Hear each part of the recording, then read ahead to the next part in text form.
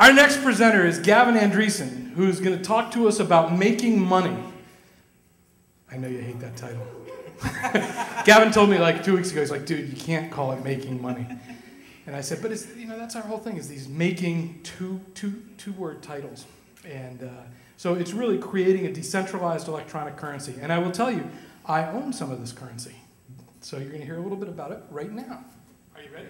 I'm ready. 15 seconds. You ready? Go! so Bitcoin is a new kind of money. It's um, the first decentralized electronic currency, not created, not controlled by any single organization or government. It's an open source project uh, used by somewhere between five and 10,000 people right now. So all over the world, there are people running the Bitcoin software, and they're trading about $30,000 worth of Bitcoins with each other every day, with no middlemen, no fees, no credit card companies. It's a startup currency, which has never happened before. A bunch of people, a bunch of websites just started to accept Bitcoins. Everything from, oh, sports to rubles to all sorts of sex, drugs, and rock and roll. Crazy stuff. Um, Bitcoin was invented by this guy named Satoshi. Well, at least he calls himself Satoshi. I'm pretty sure that's not his real name. He's this mysterious guy who was definitely inspired by the cypherpunks. Now, the cypherpunks were a group of hackers in the 90s who won the encryption wars. They're the reason why when you access your bank account or talk on Skype, you can have a private conversation that nobody can overhear.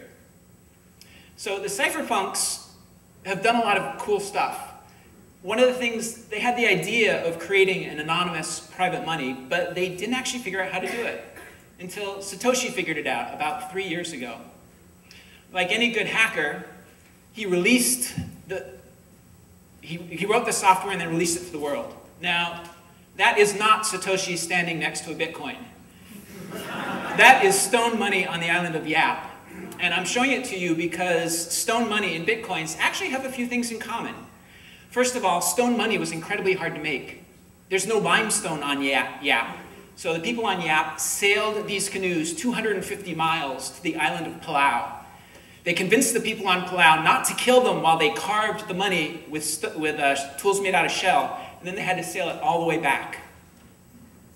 Bitcoin is kind of similar in that it's really hard to make. It's designed to be hard to make. Happily, your computer does all the work. You don't even have to get your feet wet.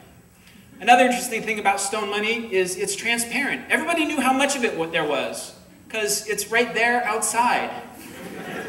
Bitcoin is similar in that every time a Bitcoin is created, it's transmitted across the network all over the world. Everybody knows exactly how much of it there is. So stone money actually had a couple advantages over the money we all use today. Decentralized, anybody can create it. Uh, the only really big minus was it's only good for big purchases like, you know, the dowry for an important wedding. Bitcoins combine all the advantages of stone money with all the advantages of modern money. Really, the only downside is it's brand new. Nobody trusts it yet because it's so new. Only geeks really understand it so far. If you think about it, money's about trust. We have to trust that our central bankers won't just print money willy-nilly. Ben Bernanke doesn't have to get in a canoe and sail it anywhere to create a billion or a trillion dollars. Satoshi didn't trust them. With the global financial crisis and bank bailouts all over the world, a lot of us are starting to wonder, can we really trust the people who control our money? Satoshi didn't, so he created Bitcoin.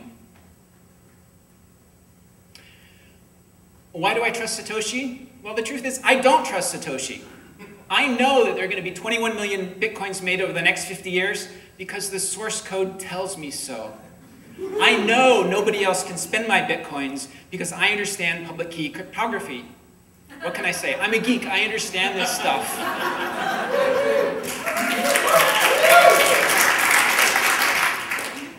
Now, I've been leading the Bitcoin project for the last month or so, but even I don't have the power to change the rules. If I tried, my version of Bitcoin wouldn't be compatible with anybody else's, and my Bitcoins would be worthless. It's a brand new baby currency worth about $3 million so far. I don't know where it's going to go, but there's a small possibility that in 50 years it just might replace the dollar as the world's reserve currency. It might happen. I created my first Bitcoin website is the Bitcoin Faucet. You can go there, get Bitcoins for free, because I know to trust something, you have to use it, you have to try it. I'm actually looking for more people to help me take Bitcoin from a weird idea created by geeks to a mainstream payment method that we all use. If you're interested, drop me a line.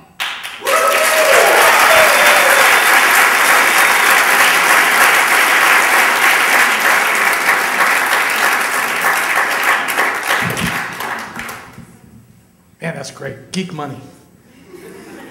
And it's real money. And, and Gavin did not mention the fact that uh, you, you, saw a little bit of a chart there for a second.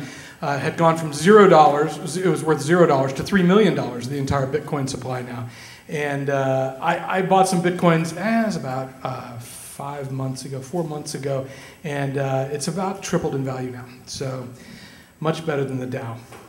And you know, I, have tried to look at the Dow Jones source code, and I've never been able to make heads or tails out of it. Um, but I can figure out bitcoins.